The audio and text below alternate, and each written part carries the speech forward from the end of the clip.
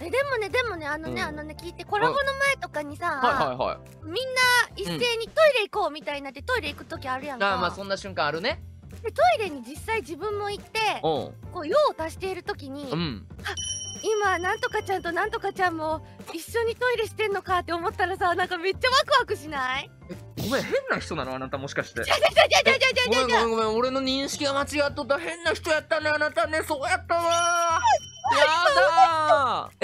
じ瞬間にうん。出してるって思ったらさ え？エモ。えもう感じエモーショナルに謝れお前。エモに謝れそれは。シモやそれはもう。エモやのうて。要はあのー、なんか世界のどこかでは他の誰かもその空を眺めているんだろう的な。そうそうそれのトイレバージョンなだけ。シモやんやっぱ。ばえばあちゃんってそんなポンイメージとかついてるの？なんか視聴者さんの中とかでさ。視聴者さんの中ではポンコツババアやと思われてるよ。そんなそんなこと言えない俺ポンコツババアなんて。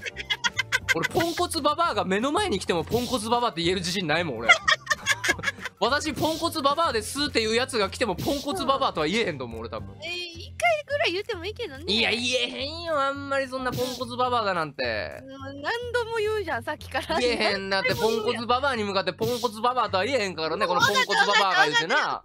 あ全然だからなんか落ち込んだりとかもしないなあんまり。ロボットみたい。ロボットかもしんない。俺ほんとに。ロボットみたいってよう言われんねん俺。やっぱそうだよね。え思う？それ。もうなんかほんと思うの？悲しいことだけをインプットされた悲しいロボットって感じわかる？いやでもせやねん。よく人から感情の起伏そんななさそうやって言われんねん。